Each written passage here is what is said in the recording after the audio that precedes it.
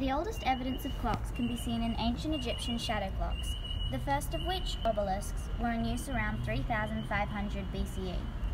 They were giant stone monuments which marked the passage of time with the differing shadows formed by the movement of the sun. Later, in 1500 BCE, came sundials, a smaller, more detailed development of the obelisk. The Egyptians also used water clocks during this period, using the flow of water into or out of a marked container to measure time. In 600 BCE, the Egyptians developed the oldest known astronomical tool, the Merkhet, used to mark off nighttime hours by determining when certain stars crossed the path of the device. Centuries later, around 700, hourglasses came into use. They measured a regulated flow of sand from an upper bulb to a lower one, and are still in use today.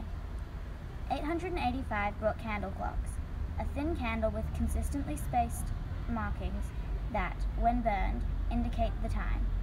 These clocks provided an effective way to tell time indoors, at night, or on cloudy days. The first mechanical watch was developed for mechanical clocks in 1510 by a German inventor and further progressed to a wristwatch in 1868.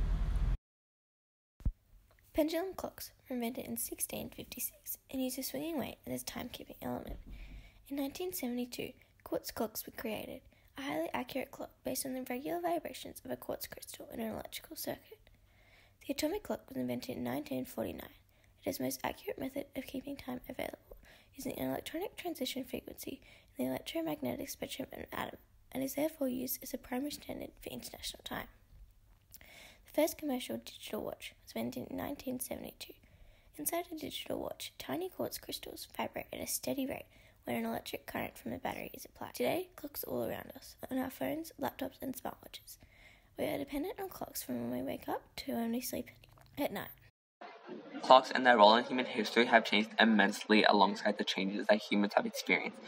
They date back far as the 16th century BCE and have had many iterations over the centuries.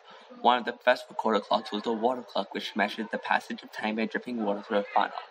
As humankind learned to harness natural resources and gain a better understanding of our world, clocks have also evolved and altered.